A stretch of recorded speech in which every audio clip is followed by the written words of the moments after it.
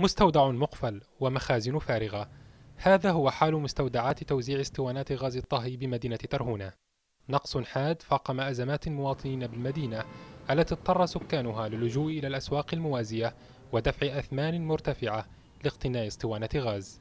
والله نحمل المسؤولية للشركة اللي مش موفرة مش للمواطن والله للموزعين نحملها للشركة. لأن الموزع هذا يبعث سيارته أم تجيه بعد في المرات ما تجيش عشان ترجع إلا بعد أسبوع. مرات عشر أيام والمواطن يقعد يستنى. أزمة لا تنفرد بها ترهونة وحدها.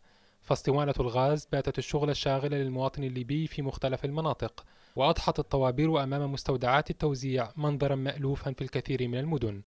بلدي ترهونة بدوره حمل شركة البريغا لتسويق النفط والغاز مسؤولية الأزمة بعد تخفيض مخصصات المدينة من اسطوانات الغاز. ترد إلينا شكاوي من المواطن ترد إلينا شكاوي من أصحاب المحلات. الآن موجود عندي شكوى من كل المحلات موقعين في المحلات أن مخصصات ترهونة الفترة الأخيرة نقصت بشكل كبير. يعني السبب موجود عند شركة اللي هي شركة البريغا للتوزيع. شركة البريغا والتي تعد المزود الرئيسي للطاقة في البلاد حملت بدورها المسؤولية لموزعي الغاز متهمة إياهم ببيع الاسطوانات بالجملة وإقفال أبوابهم أمام المواطنين. نظرا لتفشي ظاهرة بيع الاسطوانات بالجملة آه، من قبل موزعي الغاز. آه، تطلب الأمر وضع إجراءات رادعة لموزعي الغاز.